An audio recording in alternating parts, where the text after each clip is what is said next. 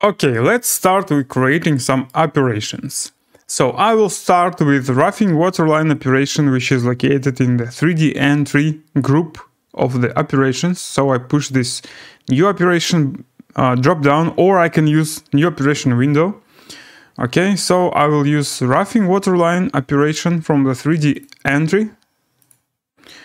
Okay, so first I'm going to do is I'm going to adjust some parameters of the operation in order for my toolpath to become more uh, similar to the final result I want to obtain.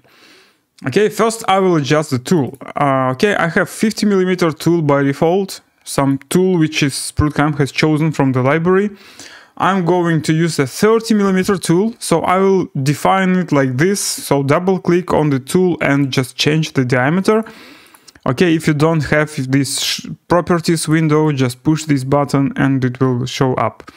And press this apply changes, don't forget it. Okay, fine, I have 30 millimeter tool now. Okay, please also make sure that you have tool length 130.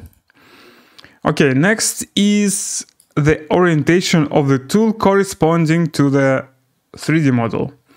Okay, so we have a lot of options because because we have six axis uh, robot and two axis positioner. So we have in total eight axes of the equipment we are programming right now, which is honestly speaking is quite a big challenge itself.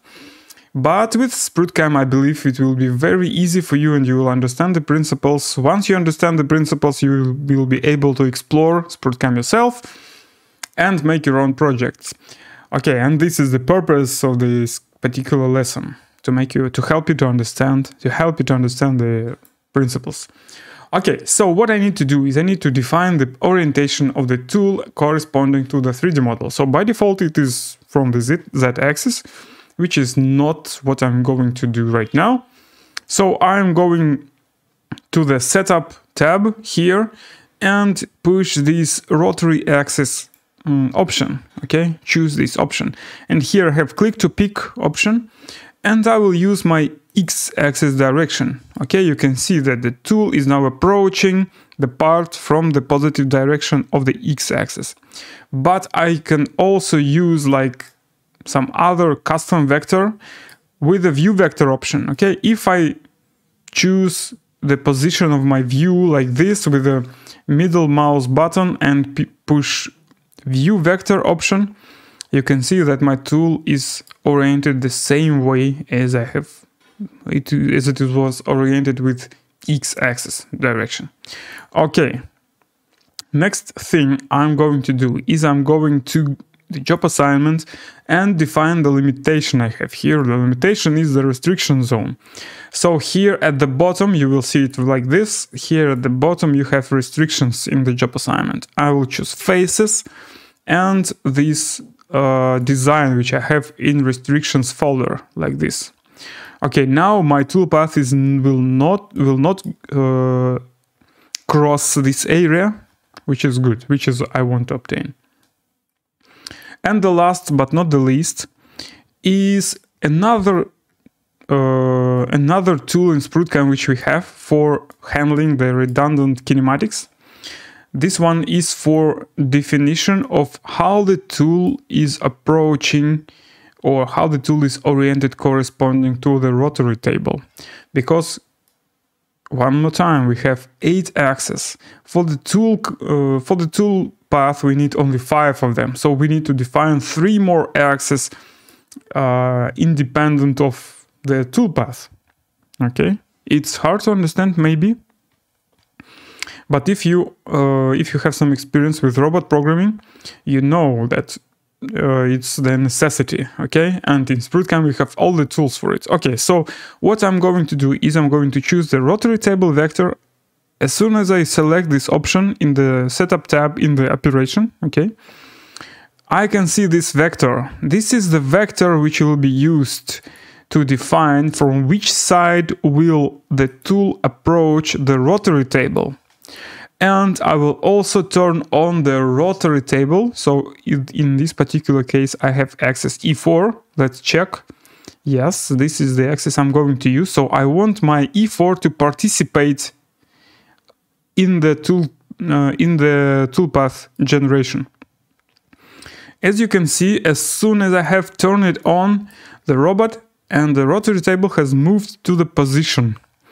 Okay, this is the position which will be used for toolpath calculation. So my tool is approaching the rotary table from the positive direction of the x-axis. It is defined here.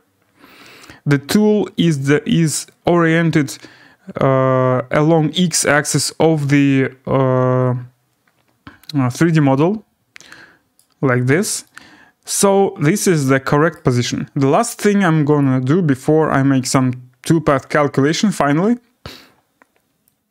is I'm going to adjust the levels because by default SprutCam will try to machine all the parts.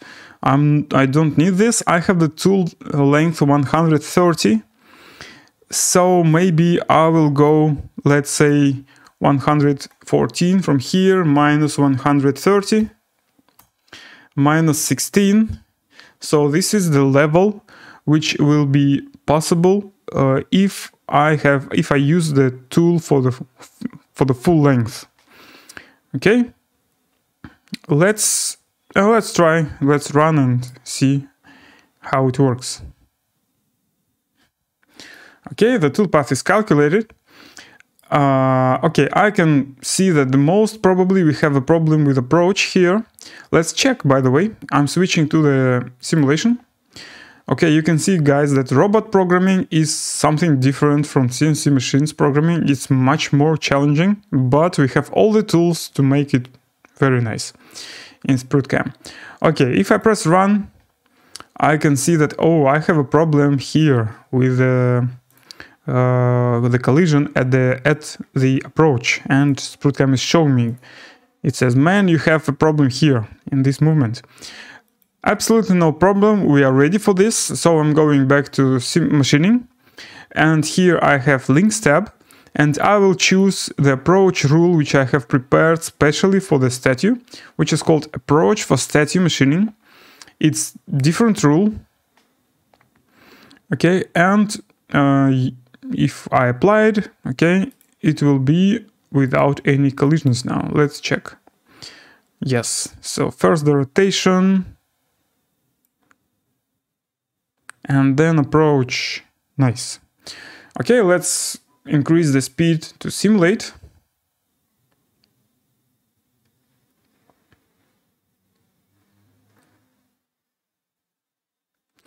Okay, looks we have one more problem at return. Let's see what we have. Yes, we can see that the same problem with return. Let's check our return rule for the statue, which we have here recalculate the toolpath. Okay, I will mm, save my time, simulate the operation, go to return and check what I have now instead of what I had before. Yes, now I have much better return rule for the this operation to finish. Okay, very nice. So what we have done is that we have done the machining of the our the first machining of the um, of our statue, the roughing one. Uh, so now let's make some it more like um, give it final look.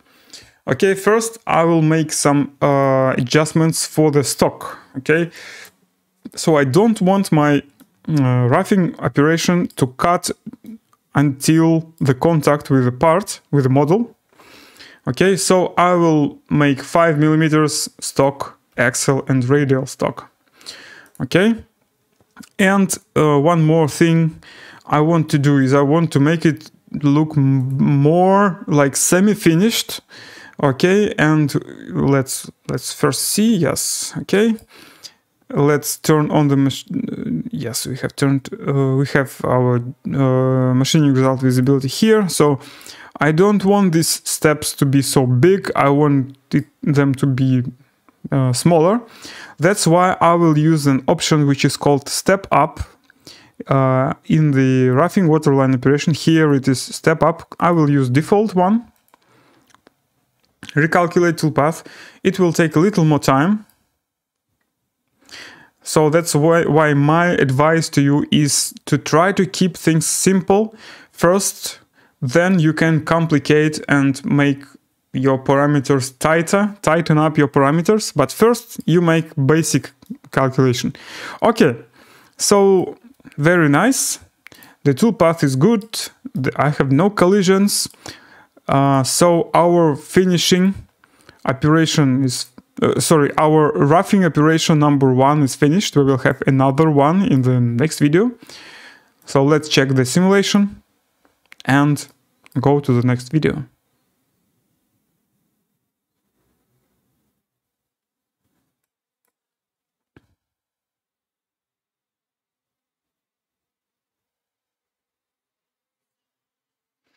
Very nice.